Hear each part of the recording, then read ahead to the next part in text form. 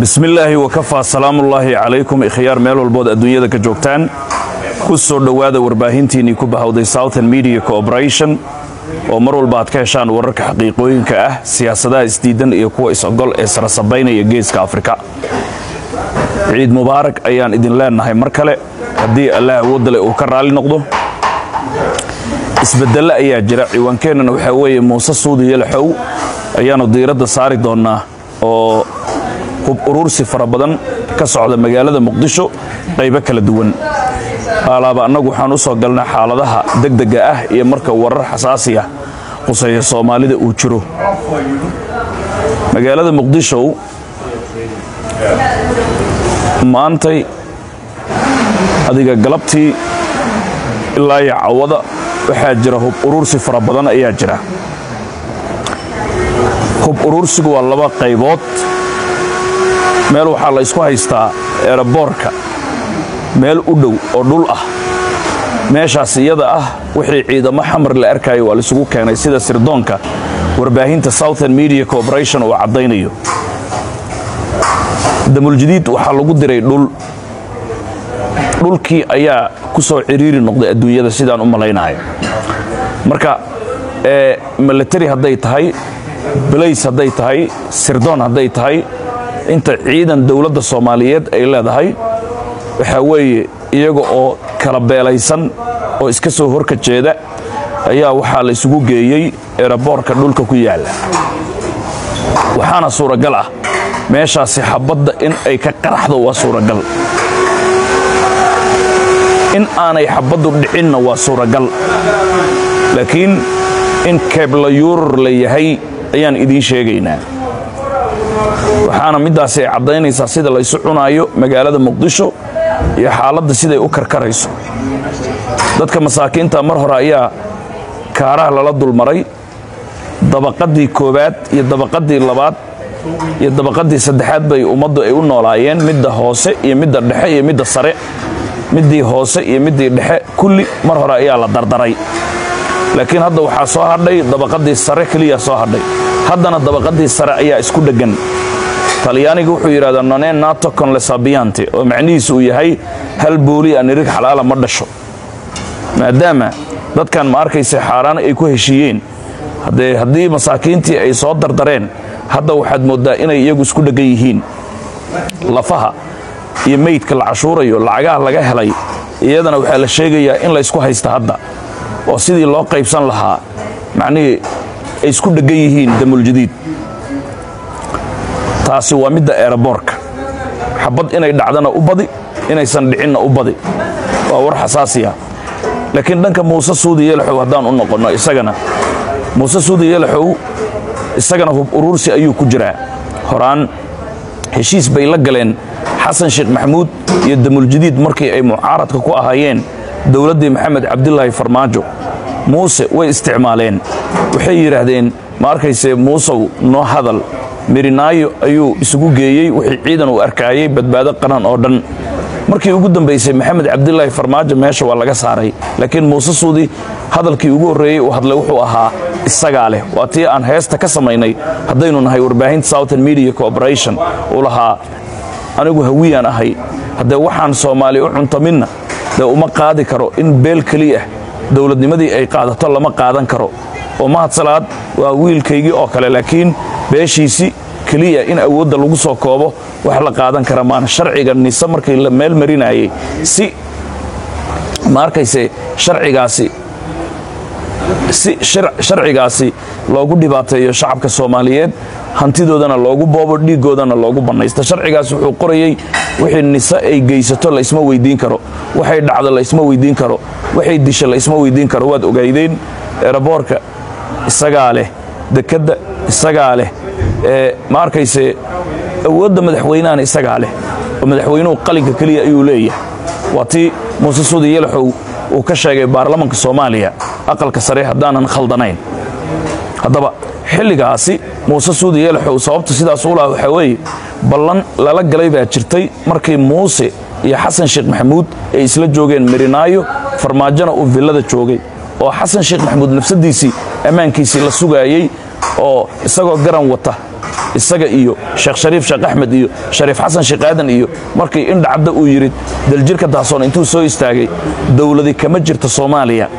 Laga bilaabo hadda markuu dhahayay waxaad ogtihiin in luubaantii turkiga lagu afuufay markaasi iyagoo kor saaran dabaqa hoteelka maa'ida hoteelkii lagu xasuuqay ma arkaysa xildhibaanada iyo madaxweynihii lixda gobol madoobe nuuno maxamed waxaannu garanaynaa in xilligaasi yacnii xabadda markii ay dhawaaqday basementiga ay ku soo carareen.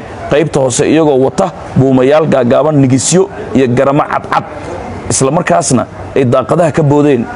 Markay daaqaduhu ka boodeenna ciidamada dowladda federaalk soomaaliyeed haddee farmaajo nidaam dowladnimuu yaqaanay amnigooda ay sugeen guri ay geeyeen taleefannada ay ka qaadeen bal nasta ay dheheen horta saacadood internet baa idin waalay siyaasad baa idin waashay. Macnihii la geliyey hibernation hurdo dheer xilligaas iyada ah oo ma arkaysa xasan sheekh maxamuud waxba aanu gacanta ku haynin oo meelaha uu naa maa baa uu ku hayay. Waxaannu garanaynaa in uu u ballan qaaday muuse suudi yalaxow haddii xasan sheekh maxamuud uu ku guulaysto madaxtinimada soomaaliya muuse inuu qaadanayo guddoomiyaha gobolka banaadir otomatic bilaa hadal.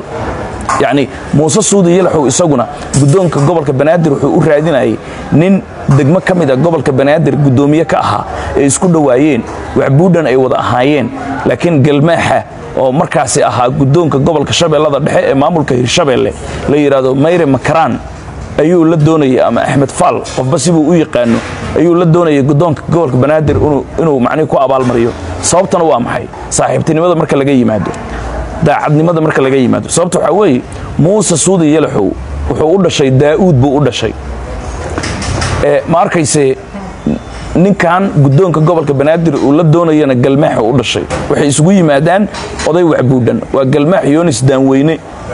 Wey ninkanna waa daa'uud laakiin muuse markii kursiga xildhibaannimada uu raadinayay senatarnimada kuma helin daa'uudnimo kuma helin. Maxaa yeelay waxbuudhan saddex xildhibaanuu leeyahay war culus oo wacayslaa saddex buu leeyahay. Harti abgaalna saddex buu leeyahay. Abgaal oo dhan sagaal xildhibaan bay leeyihiin. Golaha hoose marka laga xisaabtamaayo senatarada haddee ma arkayse qoloba waxbaa loogu daraa gobol gobol. Marka sagaalkaasi xildhibaan dee meel ugama furnayn. Marka nimanka galmaaxa la leeyahay ayaa oday waxbuudhannimo darteed muuse suudi kursiga u siiyey. Waa tii jawhar intuu soo istaagay uu lahaa walaalayaal anuu idin dhihin maayo waxaasaan qabtay iyo waxaasaan qabtay idin dhihi maayo. Laakiin waxaan idin leeyahay haddana waxaasaan qaban doonaa idin dhihi maayo. Laakiin kursiga waa rabaa doorta waa tii u lahaa. Kursigaasi muuse suudi yalaxow waxaa siiyey ma arkayse waxbuudhan macnihii oday waxbuudhan ahaana loo siiyey? Galmaaxaa lahaa ee daa'uud ma lahayn. Maadaama kursigii galmaax ilaan hadda galmaax waa afar soomaan kursiga galmaax maanta ay ku fadhiyaan xildhibaannimadu waa hal ay haystaan. Hal halkaasna waxaa ku fadhiya xaadoolnimay dhahaan oo mataan cabdulle ka soo jeeda. Kursigii labaad ay qaadan lahaayeen senatar muuse suudi yelxow baa ku fadhiistay oday waxbuudhanimay u siiyeen. Xaadoolana waa ninkii hadda kahor xasan sheekh maxamuud. Yacni xasan sheekh maxamuud teeramkii hore dadkii uu rabay inuu dilo.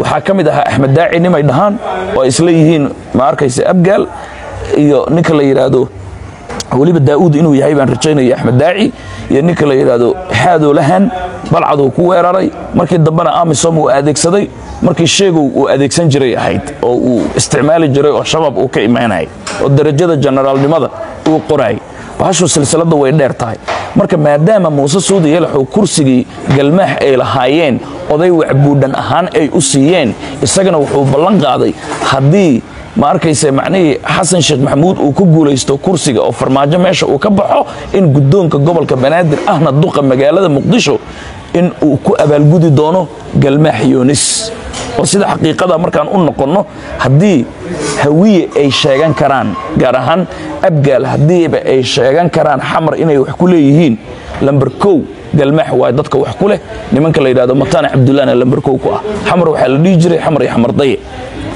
xisaabtaas waa haysaa. Allore marka xasan sheekh maxamuud markii uu madaxweyne noqday habargidiraa u tagtay waxay dhaheen waxaan rabnaa inaan qaadanno jagada ah guddoonka gobolka banaadir ahna duqa magaalada muqdisho. Inaanna siisidaan rabnaa balaas inaad noogu dartid ma arkayse agaasimaha madaxtooyada soomaaliya iyo sirdoonka qaranka. Marka sirdoonka qaranka isaga maba lala suginba. Warqaddii rooble uu ku magacaabay ayuunbaa mahad salaad lagu geeyey. Markaasna waxaa laga cararayay ceebihii fa'ad yaasiin iyo farmaajo. Macnihii dusha laga saarayay oo laakiin ay faleen dilkii ikraan tahliil faarax iyo saraakiil la laayey laakiin wixii lahaayay in la duugduugaa rabay. Kadibna lagu gediyo meydkeeda intoo la keeno ikraan tahliil faarax oo farinjeer ku jirtay wakhtigaasi macnihii in la keeno villa soomaaliya idaacadaha loo yeero la yidhaahdo waa kan nisa ayaan ka dhexelnay gabadhii. Sarkaaladda ahayd ikraan tahliil faarax soomaaliya ee arka. Laakiin wixii way fashilmeen. Annaga waxaanu sheegnay gabadhaasi markii la geeyey jilib iyo meelahaasi in ma arkaysa macnihii meel matoora ay yaalaan oo tuulooyin oo shabaabku xarumooda ay tahay farinjeri inay ku jirtay markaasi kadib gabadhii la soo qaaday guri ku yaalla k b b ama kaata di popolare guriga dadweynaha af talyaaniga waxaa lagu yidhahdo meel xamar ku taala sheekh cali suufi u dhow in la geliyey macnihii farinjeri la geliyey gabadha ayna doonayeen in ay xarunta nise ay ku soo bandhigaan ay dhahaan waa kan ikraan dib aan u helnay. Arrinkaasi waan fashilinay xataa waxaa jirtay idaacadda shabeelle waxaa iskale cayr oo markaasi ammaan kala duldhacday mahad salaad ay jirtay ay lahaayeen. Taliyaha nisa oo waxaan la arkin soo bandhigi doona. Taliyaha nisa oo wax weyn oo soomaalidu la yaabi doonto. Ma arkayse soo waxay ula jeedeen ikraan tahliil bay doonayeen inay nise geliyaan. Markaas kadib ay dhahaan intaan ka dhexelnay kaalaya soomaaliyey kaalaya warbaahinay hala baahiye waa kaa faadiya farmaaja inta ku dilay saasay doonayeen. Laakiin annagu waanu fashilinay. Dhibaato fara badanna waynugu qabeen markaasi ilaa heer inayna dilaan bay ku dadaaleen. Laakiin alla dila ayaa dhinta weli waanu hadlaynaa. Ajashaynaa dhiman. Mana qornayn markaasi in adduunyada aan ka huleelno xilligaasi iyadaa marka. Macnihii muuse suudi yalaxow waa looga booday xasan sheekh maxamuud wuxuu yidhi habargidir walaalayaalow anuu idinma siin karo. Agaasimihii haddaad qaadateen idinkuma dari karuu yidhi agaasimaha madaxtooyada soomaaliya. Maxaa yeelay madaxtooyada soomaaliya wuu isku ilaalinayaa. Markaasna wuxuu doonayay raxweyn inuu cirbad suuxisa uu ku dhufto uu ku sasabo. Waa tii isagoon la caleemo saarin magaalada baydhabo uu ka degay uu lahaa. Macnihii intuu u khudbadayey macnihii koonfur galbeedow xooggiinni awooddiinni lama dhayilsan karo lama inkiri karo. Laakiin moogtaa wuu is og yahay. Balaayo iyo macnihii xaalad iyo dhib abaabul villa soomaaliya idinkama soo socoto. Nabad ku seexda nabad ku soo toosa. Markuu lahaa waa suuxisada uu ku dhufanaya annaga aan soo galnay. War beenuu sheegayaa kan sagaal qofood oo isku dhex jirta ha aaminina. Raxweynay markaan lahayn uu ka sii duulay dhuusamareeb uu ka degay oo markaasi uu qorshaynayay sidii axmed cabdi kaarihi qorqoor loo dili lahaa habargidirna uu qoorta isugu gelin lahaa. Gabdhaha habargidir ee buraanburaaya oo arooska ku jira intuu futushaariga la kala baxay madaxweynihii dhammaa ee hawl laga sugaayay waa tan ma arkaysa intuu la kala baxay uu buraanbur ku dhuftay isagana uu yidhi iska celi naayaa iska celi kareem yuyu ismari waryaa sacad iska celi cayr baa kula jira saruur. Hadda ma fahmaysaa? Saasaan u sheegayna annaga. Xilligaasi marka guddoon gobolka banaadir wuxuu dhowraayey macnihii eedan hadduu habargidir siiyo xabaddaba kow abgaal inay ku bilaabaan markaasi cabsiduu ka qabay. Waayo ciidamada weli sidaan hadda ulama wareegin xasan bilow bay ahayd. Balaas wuxuu cabsi ka qabay haddii villa soomaaliya uu dhiibo habargidir markaasi yani wuxuu cabsi ka qabay digil iyo mirifle sidee baad u sabi kartaa? Waatan senator xuseen sheekh maxamuud uu macnihii ka dhigay agaasimaha madaxtooyada soomaaliya. Ayna habargidir ku dhahday raxweyn nooga qaad madaxtooyada. Xilligaasi marka gobolka banaadir macnihi muuse suudi hadduu siiyana lamana rabin mana rabin inuu siiyo. Sidaasay u dhacday in gobolka banaadir la siin waayo. Markii ugu dambaysay marka muuse suu u sugayay gobolka banaadir madaalo marka la magacaabay muuse suudi yalaxuu telefoonkiiab laga qaban waayey. Waatan uu baxay kenya uu tegey ma arkayse macnihii abaabul uu meesha galay inuu la hadla uu diiday xasan sheekh maxamuud. Markii dambana markuu soo noqday oo ma arkayse macnihii uu isku dayay inuu abaabul iyo wax samaysto in isagiiba la dilaa la isku dayay. Waa tii ma arkayse la yidhi madaxtooyada aan isugu imaanno taleefon loo diray uu yidhi ey madow ha kuu yimaado. Waa tii xasan uu ku lahaa. Ma arkayse markii dambe erge uu dirsaday uu yidhi iga raalli ahaw haddana markii dambe isaga nafsadiisii isagoon iska sii hormarin fariin xasan sheekh maxamuud intuu baabuur fuulay ma arkayse macnihii maryo cadcad uu qaatay istaafka muuse ay dili gaareen. Uu macnihii dhahaya aniga raalligarayn baan wadaa wixii qaldamay inaan xaajiga ka raalligareeyaan rabaa. Ma arkayse macnihii ballamaadkii aan furay inaan macnihi hadda fuliyaan rabaa waa tii u lahaa waan idinla wadaagnay ballanta markaasi waxay ahayd in guddoonka gobolka banaadir muuse suudi la siiyo. Ballanta hadda waxay ahayd marka bisha ciidda ciiddan hadda lagu jiro macnihii marka la gaaro in guddoomiyaha gobolka banaadir muuse suudi gacanta laga geliyo. Laakiin ma muuqato ilaa hadda. Ballantu sidii waay. Oo hadda madaale ma arkaysa inuu kursiga ka dego. Maanta ciid maano saasay ballantu ahayd. Kama degin. Okay. Ma arkayse ballamaadkii xataa ma arkayse muuse suudi kale raggii safaarada iyo waxbaa jiray markaas iyagana looma fulin.